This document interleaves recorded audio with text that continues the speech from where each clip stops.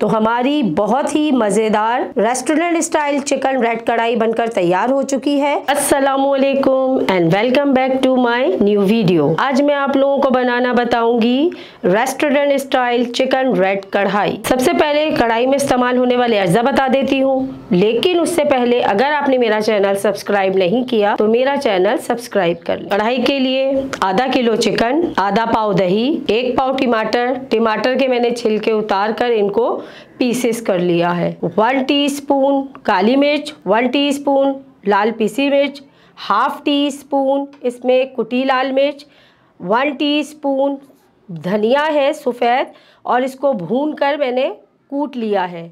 One teaspoon सफ़ेद ज़ीरा है, इसको भी भून कर मैंने पीस लिया है या कूट लीजिए। नमक, हसबे ज़ायका और वन टीस्पून इसमें कसूरी मेथी है। अदरक का मैंने एक टुकड़ा लिया था, इसको मैंने बारीक चॉप कर लिया है। तीन हरी मिर्चें इसको बीच में से दो कर लीजिए और चंद पत्ते हरा धनिया है और हाफ़ कप इसमें ऑयल है। अज्जा मैंने आपको बता दिए हैं तो चलिए कढ़ाई के फ़र्स्ट स्टेप की तरफ़ चलते हैं। मैंने एक पैन लिया है जिसमें मैं कढ़ाई बनाऊँगी। इसको मैंने हीट कर लिया है, गर्म कर लिया है अच्छे से। अब मैं इसमें वो जो मैंने हाफ़ कप ऑयल लिया था वो डाल के इसको गरम करूँगी। ऑयल हमारा अच्छे से गरम हो चुका है। अब मैं उसमें ऐड करूँगी दो टेबल स्पून अद, पिसा अदरक लहसन। अदरक लहसन में अज्जा मैं आपको बताना भूल गई थी। इसको अदरक लहसन को डालकर आप अच्छे से दो मिनट बस आप इसे फ्राई कर लीजिए। अदरक लहसन हमारा अच्छे से भुन चुका है। अब मैं इसमें वो जो मैंने आधा किलो चिकन लिए वो ऐड करूँगी। और इसको मैं ब्राउन होने तक पकाऊँगी। जब तक चिकन का कलर चेंज ना हो जाए, उस वक्त तक अदरक, लहसन और चिकन को मैं पकाऊँगी।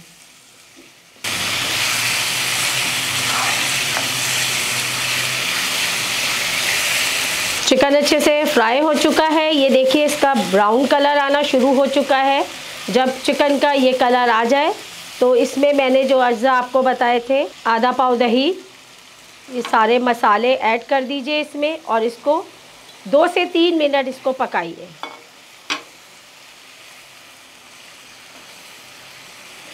चिकन अच्छे से इसमें फ्राई हो चुके हैं। हमने सिर्फ़ दो मिनट इसको पकाना है। अब मैं इसमें टमाटर ऐड करूँगी और टमाटर ऐड करके मैं इसको कवर कर दूँगी।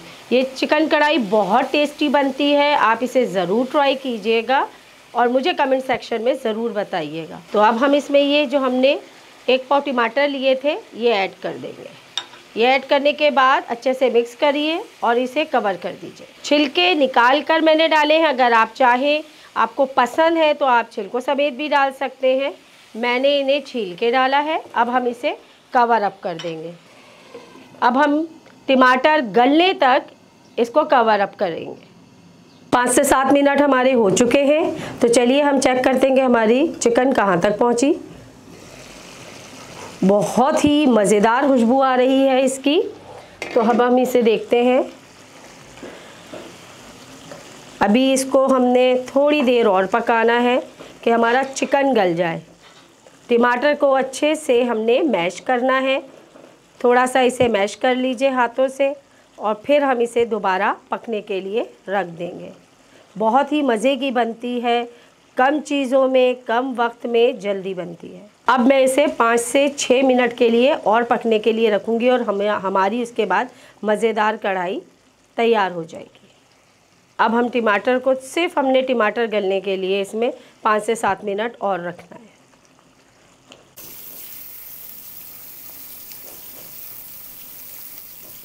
पाँच से सात हमारे मिनट हमारे गुजर चुके हैं तो चलिए चेक करते हैं हमारी चिकन कढ़ाई कहाँ तक पहुँची। वाओ, बहुत ही मज़ेदार कलर, खुशबू आ रही है। आप इसे ज़रूर ट्राई कीजिएगा। ये पूरी तैयार हो चुकी है। अब हम इसमें थोड़ी अदरक, हरा धनिया और हरी मिर्चें डालकर इसे दो मिनट के लिए पकाएँगे। बहुत ही मज़े की खुशबू आ रही है। आप इसे ज़रूर ट्राई कीजिएगा। बहुत जल्दी झटपट रेडी हो जाती है कम चीज़ों में और वो सारी चीज़ें जो आपके घर में दस्तियाब होती हैं। दो मिनट हमारे हो चुके हैं तो देखते हैं कहाँ तक आई हमारी कढ़ाई। वाओ, हमारी कढ़ाई बिल्कुल तैयार हो चुकी है और हम फ्लेम बंद कर देंगे। ये देखिए, बहुत ही मज़े की लग रही है। इसको खाने का वाकई ही दिल कर रहा है। अब मैं इसे बॉल में निकालूँगी। मैंने ये मट्टी का पॉट लिया है, ठीक है? अब इसमें निकालूँगी मैं कढ़ाई। ये देखिए, आप इसे ज़रूर बनाइएगा और मुझे कमेंट सेक्शन में बताइएगा कि आपको मेरी कढ़ाई कैसी लगी। तो हमारी बहुत ही मज़ेदार रेस्टोरेंट स्टाइल चिकन रेड कढ़ाई बनकर तैयार हो चुकी है।